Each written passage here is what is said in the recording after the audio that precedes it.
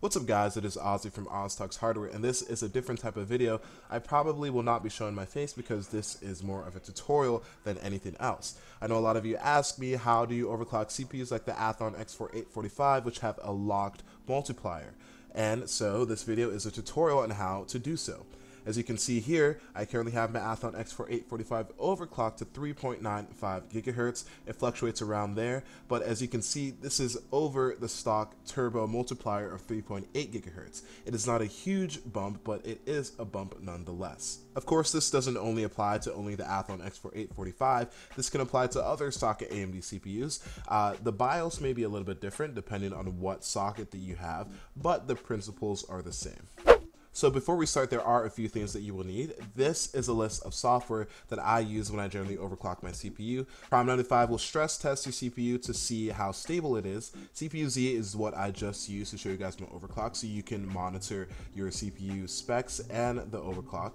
HW Monitor monitors your temperatures and Cinebench R15 and Unigine Heaven 4.0 are just benchmarking tools to see how well your CPU is performing with that overclock. And it also tests stability as well.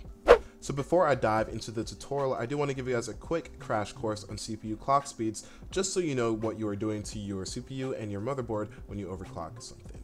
So basically there are two core things that make up a CPU's clock speed. There's a frontside bus slash the base clock, and then there is the multiplier, and these two work hand in hand to make your CPU's clock speed. Generally speaking, the multiplier will multiply the frontside bus or base clock a certain amount of times to get it to what the clock speed is. So my Athlon 830, 845 has a clock speed of 3.5 gigahertz, its base clock is 100 at stock, and its multiplier is 35. So as you can see, if you multiply them together, 35 times 100, you get 3500 megahertz, which is the same as 3.5 gigahertz. When you have an unlocked CPU, what you can do is easily just change the multiplier. So if I change this to 37, then my new CPU clock speed will be 37 times 100 3.7 gigahertz. But when you have a locked CPU, your multiplier is locked, so you cannot change it at all in the BIOS. So what we found out, or what we do, is we can change the front side bus or the base clock speed. So we leave the multiplier alone and say we change this to 105. So now our new CPU clock speed is 3.675 gigahertz. So that is a different way to overclock. And since our CPU, the Athlon X4 845, has a locked multiplier, we will be using the front side bus or the base clock to overclock. Okay, so now we can finally commence with the overclocking tutorial. So the first thing you want to do is check for stock stability just to get rid of any discrepancies when you're overclocking. You should especially do this if your CPU is less than a month old, but if it's older than that and you're pretty sure about the stock capability and stability about your, of your CPU, then you can definitely skip this part altogether. But if you're not quite sure and you just want to test it just in case, then you should open Prime 95 and also open HW Monitor I can type. So what you should do here is do a blend test for about 10 to 15 minutes and also do a small FFTs uh, test as well for about 10 to 15 minutes. And then if you have no crashes and if your temperatures are okay, then you are ready to overclock. And of course, I'm already set with what I need to do. I know that my CPU is good at stock, so I'm not going to do this, but make sure you just do that for about 10 to 15 minutes for both and then you're set to go. So now that you're done checking for stock stability, restart your computer and get into the BIOS. All right guys, so here I am in the BIOS, and the very first thing that you want to do is make sure that your BIOS is running at its default settings. And for an ASRock motherboard, what you do is you go to exit and you click load UEFI uh, defaults. And I've already done this, so I'm not gonna do it again, but once you do that, make sure you save changes and exit and then re-enter your BIOS. All right, so once that's done, the next thing that you want to do is make sure you turn off all of your underclocking slash power management utilities on your motherboard. Basically, when all of your CPU's cores are not being fully utilized, your motherboard will automatically underclock your CPU by changing and decreasing its multiplier. But when we overclock, we do not want that to happen. So you have to turn off all of your power management utilities. Basically, all AMD CPUs have the same utilities, but depending on the BIOS, you have to search for them. Fortunately enough, if you guys have an ASRock motherboard and it's UEFI, it's, the format is pretty much the same. So what we're gonna turn off is Core 6 package and Cool and Quiet. So make sure you disable those because those are both underclocking and power and efficiency utilities. And what you also want to do is go to Overclock Tweaker and you want to turn off Spread Spectrum. And you also want to turn off AMD's Application Power Management. So now that all of those things are turned off, you are ready to overclock. So this is the part where it kind of differentiates depending on what BIOS you have. If you have the same BIOS as me, then that's awesome because you will just have to follow this step by step. But what you want to do is you want to make sure that you can actually adjust your CPU's multiplier or front side bus. So if you have an overclock mode, make sure you turn that to manual. If you don't, you're going to have to look through it a little bit. It's probably in your CPU's advanced or configuration settings. So go look for it and make sure that's set to manual. And now once you do that, you'll see that you have this pop up. This is the front side bus that I was talking about earlier on in the video. So if you change this, if you up it up, up it up, how that's funny. If I change this to maybe 120, then my CPU frequency will change accordingly. Right now it's stock at 100. Depending on the CPU, it could be at 200, it could be at 150, it just really depends.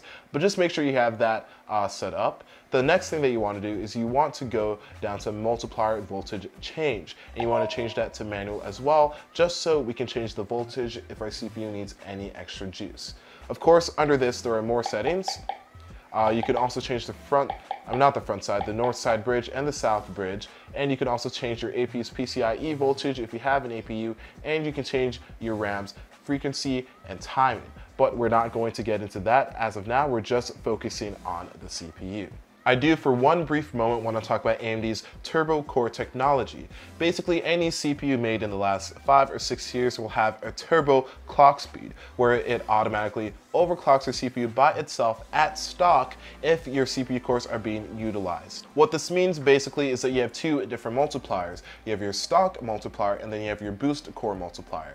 If you want to overclock, you have two options. You can leave this on and then you would automatically use your X38 multiplier. For unfortunately, this does come with a few gripes. One of them is that your CPU and your motherboard would still automatically underclock itself if it comes into a time where its CPU cores are being underutilized. Of course, it will not underclock itself as badly as when you have the Core 6 on or as you have the AMD Application Power Management enabled, but it will still underclock itself nonetheless. If you do decide to disable this, then you will only have one multiplier. This means that you will not be under the discretion of your motherboard to underclock your CPU. But this also means that you probably won't get as high as a, of an overclock because your multiplier is uh, automatically lower by default.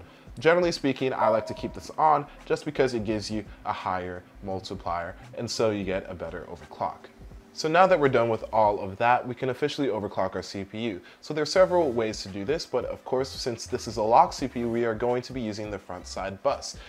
Uh, make sure you are aware of the range of your front side bus. You do not want to go over this because bad things can happen. And range is different depending on the CPU that you have. Right now, mine goes up to 136, as you can see, and it's stock at 100. So what I like to do is go with increments of five. So I'm going to change this to 105, and am going to save it, save changes, and then it will automatically restart. Basically, if this boots back up perfectly fine into Windows, that means that 105 is a good frequency to start at. So as you can see, my computer failed to boot to Windows properly because the front side bus was clocked too high. So what I'm going to do is go back into my BIOS and under uh, clock that front side bus a little bit. So I'm going to change it from 105. Whoops. I'm going to change it from 105 to 104 and see what happens. Basically, this is the routine that you want to use when you are overclocking a locked CPU. You want to start off by going with increments of 5, and if it's a bit too high, then you want to clock it down a little bit. As a, and see, we have success here. Uh, 104 seems to be working just fine as of right now. At least we're booting into Windows. And yep, it booted just fine. And I will show you guys just how fast the CPU is right now. So as you guys can see, the computer successfully booted up using the 104 front side bus. And as you can see, the multiplier is at 35 right now. As I said earlier, it can fluctuate if you uh, turn on AMD's Turbo Core technology, but it is overclocked slightly to about 3.6 gigahertz. With the turbo core multiplier, it will be around 3.95 gigahertz. Alright, so now that you guys have overclocked your CPU for the very first time, you do want to test it a little bit just to make sure you have some sort of stability. So what I usually use here is just Prime 95. I do two different types of tests. I do the blend test because that tests the entire system and then I use the small FFTS test just to stress test the CPU. I do each for about 30 minutes and if I get no crashes or any weird spikes or anything weird happening or smokes building up in my computer, then I think I'm good to go to continue and overclock it a little bit more. So yes, what this means is that overclocking does take a little bit of time, but just to ensure stability, you do want to go through these tests and I promise you they will make it worthwhile. So once you're done with these tests, you can go back into the BIOS and try to overclock it some more. You also want to make sure when you're stress testing that your temperatures are good, which is why we have HW Monitor online because it monitors temperatures. Of course, you, you are going to need to do a little bit of research to see what the maximum temperature threshold is for your processor. I know for mine, it's about 72.6-ish degrees Celsius. So if I'm under that while I'm stress testing, then I'm I'm good to go. Right now I'm idling from 40, 40 to like 48 degrees ish Celsius, which is perfectly fine as long as I'm under that 72.6 threshold. So just keep an eye on your temperatures while you are stress testing because you do not want it to start throttling and even worse, auto shut down because it cannot ha handle the heat that is being dissipated. Okay, so say that you were satisfied with your last overclock and you're good to go. Well, then you're good to go and you don't really need to watch this part of the video. But say that you want to push your CPU a little bit more. So you want to go back to 105 and work from there. Well, basically, if you start hitting a wall, as we did with 105, what you can do is add more volts to your CPU, which is basically adding more power. So what you want to do is go to here, and you want to go down two clicks and choose that. You do not want to jump in voltage because that can cause a lot of issues with your CPU and could possibly permanently damage it. Generally speaking, I like to go two clicks with my voltage, test it out. If I hit a wall, I'll go back and I'll add a little bit more. Of course, do not go crazy with your voltage and read up what is the safe voltage for your CPU. For the FM2 series, generally speaking, because they eat up a lot of watts, you can go up to about 1.5 with it being generally safe. But of course, this changes with different architectures and with different CPUs, so make sure you research it a little bit. On top of that, since your CPU is eating more power with more volts, it is of course generating more heat. So make sure that your cooling is up to par and you're good to go. Alright, so now that you have the overclock that you want, you do want to stress test a final time, and this one will probably be a little longer than the last one. You do want to use Prime 95 again, and you do want to use the blend and the small test for about an hour each. The more, the better. You can never really over stress test your computer. On top of that, I do recommend using Cinebench R15 to stress test your CPU again, and to also see how well it performs with your new overclock on hand. Lastly, we have Unigine Heaven 4.0, which will stress test and utilize pretty much every single component in your computer. And I recommend doing this again to see if your overclock really did make that much of a difference in terms of gaming and also to stress test your CPU once again keep in mind that you also want to monitor your temperatures. You want to make sure that they are under the maximum threshold of your CPU. I know stress testing kind of sucks and it can take a lot of time, but it is very, very vital when you are overclocking. A CPU can do a billion different things in one single second. And so that means that some things will fall through the cracks, a couple of glitches might fall through the cracks, so it's best to just over stress test than to under stress test. And in case that it does crash, all you gotta do is go back into your BIOS, maybe either add a little bit of voltage or underclock your CPU just a tiny bit and then stress test it once more to see if it's stable. Alright guys, so that's it for this video. If you found it helpful, give it a like and share it with your friends that are also looking to overclock their locked AMD CPUs. If there's anything that I can improve on in terms of tutorials and how-to series, just let me know. I try to go kind of in depth in this one just so you guys can understand the little science behind overclocking to a certain extent. So again, if you guys liked it, give it a like. Loved it if you subscribe, and I'll see you guys in the next video. Peace out.